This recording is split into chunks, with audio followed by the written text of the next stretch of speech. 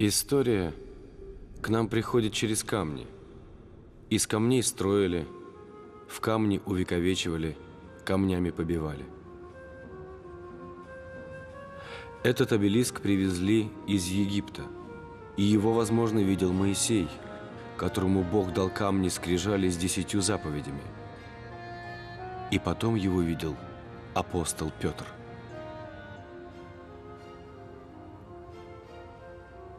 С именем святого апостола Петра связана и эта площадь архитектора Лоренцо Бернини с уникальной колоннадой и скульптурами на ней. 140 изваяний святых, которые устанавливались на протяжении 100 лет.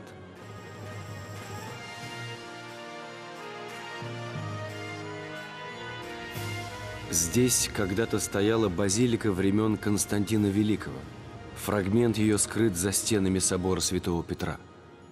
А купол этот – творение великого Микеланджело.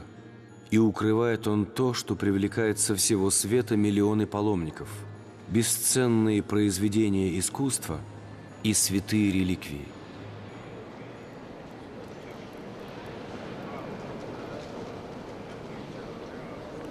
И есть здесь реликвия, которая, возможно, и не является безусловным произведением искусства, но именно к ней на протяжении сотен лет не иссякает поток людей.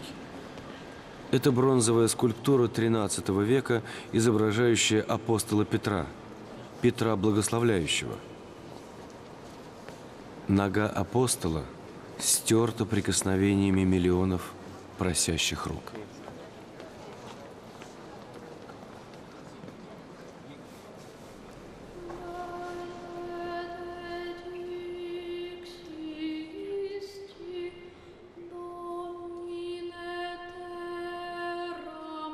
Здесь всегда многолюдно, но есть в соборе Святого Петра места воистину сокровенные.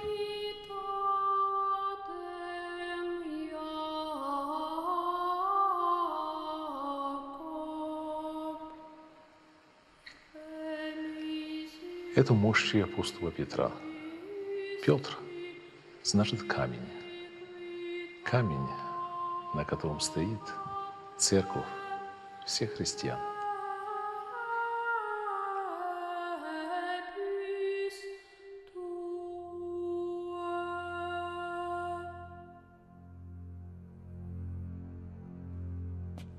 Здесь, глубоко под базиликой Святого Петра, было кладбище, где хоронили в первом веке язычников и христиан. И здесь был похоронен Петр.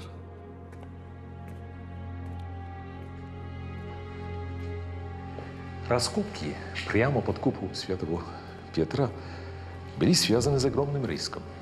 И тот риск взял на себя папа Пачелли Пиус XII. К счастью, ничего плохого не произошло.